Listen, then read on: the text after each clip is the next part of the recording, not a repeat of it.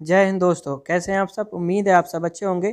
तो दोस्तों, आज की वीडियो में हम डिस्कस करेंगे सीआईटीएस के थर्ड फ़ेज़ की काउंसिल से रिलेटेड तो दोस्तों, सबसे पहले आपको क्या करना है, वीडियो को लाइक कर देना है और चैनल पे फ़र्स्ट टाइम हो तो चैनल को सब्सक्राइब कर लेना, साथ में बेल आइकॉन भी दबा लेना, ताकि आपको आने वाली वीडियो का नोटिफिकेशन मिल सके। तो दोस्तों, चलिए शुरू करते हैं वीडियो।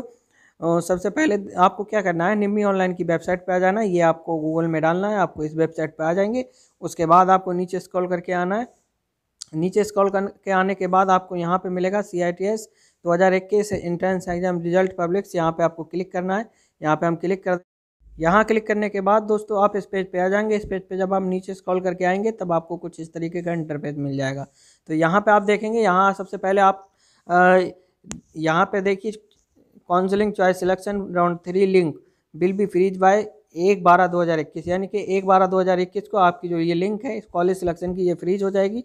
उसके बाद आपको दस बज के तीस मिनट पर आपका मेरिट लिस्ट आ जाएगी, यानी कि सुबह आपको दस बज के तीस मिनट पर मेरिट लिस्ट आ जाएगी। तो यहाँ पे पेमेंट रिलेटेड बात करें तो दोस्तों, यहाँ पे आप देख रहे हैं all payment counselling are recounselling cancelled यहाँ पे आ रहा है कि आपका जो भी भुगतान आपने किया हुआ था, उसका समाधान कर दिया गया है।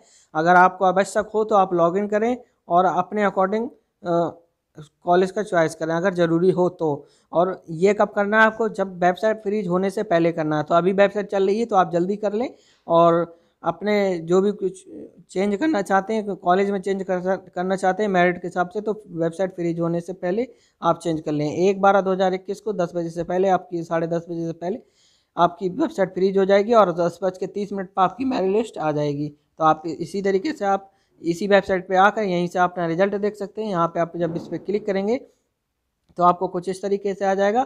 अभी आपकी काउंसलिंग का प्रोसेस चल रहा है। अभी आप यहाँ पे ईमेल, रजिस्टर्ड ईमेल डालेंगे, मोबाइल नंबर डालेंगे और यहाँ कैप्चा डालेंगे और अपना कॉलेज का चेंज कर सकते हैं। अगर आपने कोई भी कॉलेज चेंज किया है तो। तो दोस्तों, वीडियो आपको कैसी लगे हमें कमेंट बॉक्स में आकर ज़रूर बताएँ। वीडियो आपको अच्छी लगी तो वीडियो को लाइक कर दें। चैनल पर फ़र्स्ट टाइम आए हूँ तो चैनल को सब्सक्राइब कर लें। वीडियो देखने के लिए आपका बहुत बहुत शुक्रिया। मिलते हैं नेक्स्ट वीडियो में। तब तक के लिए जय हिंद।